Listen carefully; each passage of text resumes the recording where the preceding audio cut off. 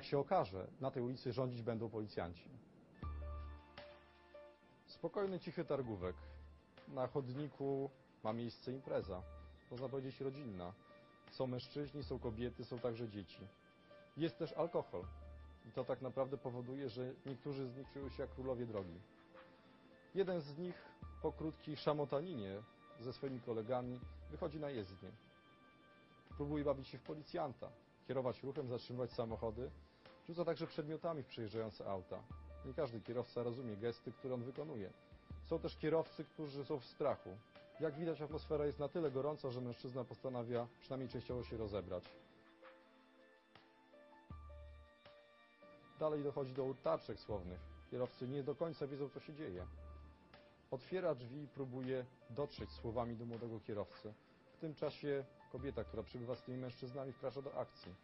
Odciąga tych mężczyzn od samochodu. Młody adept nauki jazdy może jechać dalej. Na pewno tę chwilę zapamięta na długo. Przez alkohol puszczają wszelkie hamulce. Mężczyzna próbuje obnażać się. Przyjeżdżają strażnicy miejsce. Grupa jest spora, próbują jednak uspokoić awanturujących się mężczyzn. Ta sytuacja chwilę trwa.